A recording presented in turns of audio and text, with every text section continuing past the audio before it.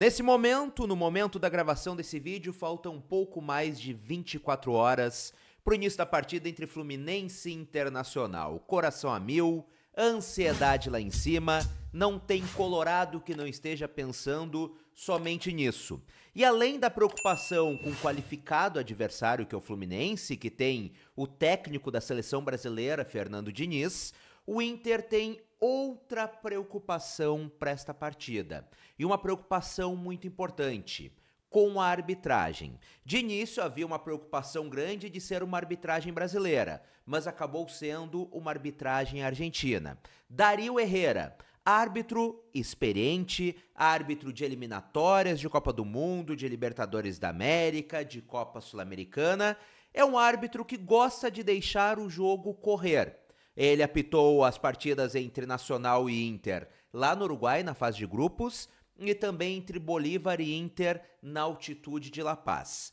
Mas, apesar de ser um árbitro que gosta de deixar o jogo correr, ele é um árbitro muito disciplinado. Quando dá faltas, costuma dar bastante cartões. Só na Copa Libertadores da América desse ano ele já pitou oito partidas e deu nada mais, nada menos que 54 cartões amarelos em oito jogos. Isso dá uma média de quase sete cartões amarelos por partida.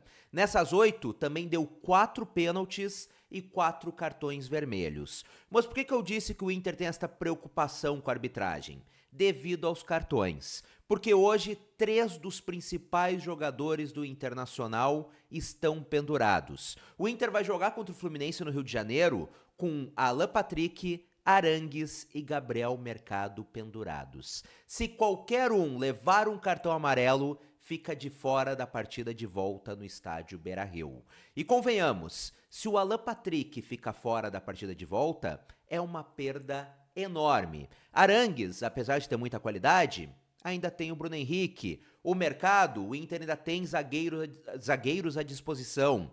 Mas pro lugar do Alan Patrick, não tem ninguém. Não tem ninguém que tenha a mesma qualidade do Alan Patrick no banco de reservas. Não tem ninguém que faça exatamente a mesma função do Alan Patrick no banco de reservas. Mas enfim, são três jogadores importantíssimos, pendurados e que podem ficar fora da partida de volta. Vamos torcer que o árbitro dê uma segurada nos cartões não mantém essa média alta e que o Inter consiga ter todos os jogadores à disposição para a partida de volta no estádio Beira-Rio. E falando em partida de volta, o técnico Eduardo Cudê já falou mais de uma vez que não se trata somente do primeiro jogo, são as duas partidas. Segundo o Cudê, é uma decisão de 180 minutos. E o treinador do Inter já deixou claro que o Inter vai para o Rio de Janeiro sim para fazer uma boa partida, tentar buscar um bom resultado, mas principalmente para voltar vivo. Segundo o próprio Cudê disse, o importante é decidir no estádio Beira-Rio diante da sua torcida.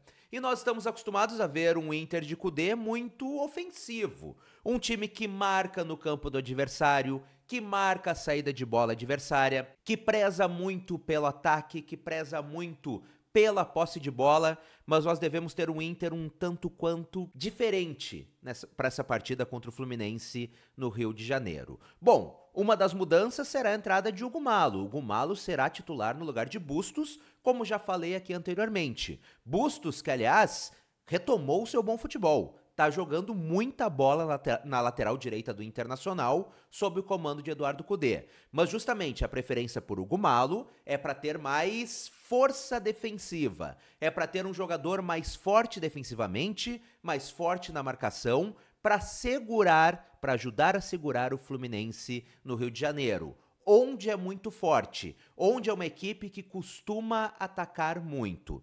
Então, sim, apesar de nós estarmos acostumados a ver um Inter de Cudê mais ofensivo, com aquele futebol mais para cima, nós devemos ver um Inter contra o Fluminense amanhã mais defensivo, um Inter mais resguardado, um Inter que vai esperar o Fluminense vir mais para cima. Nós não devemos ter um Internacional marcando tão forte no campo de defesa do Fluminense, marcando tão forte lá em cima para já tentar recuperar a bola e tentar fazer o gol. nós devemos ter um Inter mais, a gente pode dizer até mais retrancado contra o Fluminense. O objetivo é claro: voltar vivo do Rio de Janeiro. Se der, para como aconteceu contra o Bolívar, achar uma bola no contra-ataque e talvez vencer o jogo, melhor. Mas o plano de Eduardo Cudê é claro: voltar vivo do Rio de Janeiro para decidir no estádio Beira-Rio diante da torcida colorada, com todo o caldeirão, com todo o inferno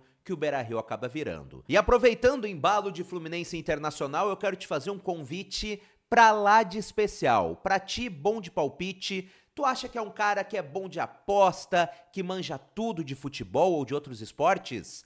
Cria tua conta na KTO.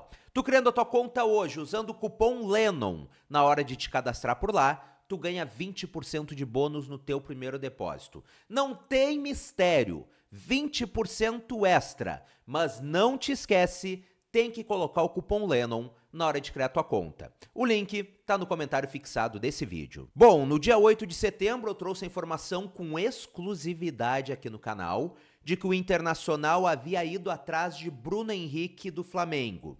No vídeo, eu disse que o Inter fez uma sondagem para saber mais informações e demonstrar interesse pelo jogador do Flamengo. Repito, isso no dia 8 de setembro. Pois bem, nesta terça-feira, dia 26 de setembro, o jornal O Globo confirma também esta informação. Segundo o Globo, Bruno Henrique está descontente no Flamengo, se sentindo desprestigiado pelo fato de o contrato dele acabar no final do ano e o Flamengo não ter renovado até agora. Segundo o jornal o Globo, hoje estão no páreo, já demonstraram interesse pelo jogador Internacional, São Paulo, Corinthians, Palmeiras e Grêmio. Então, sim, confirmando a informação que eu trouxe há quase um mês aqui no canal, o Inter tem interesse em Bruno Henrique do Flamengo. Neste momento não há nenhuma negociação em andamento. Isto eu reafirmo a minha informação. Mas houve uma sondagem,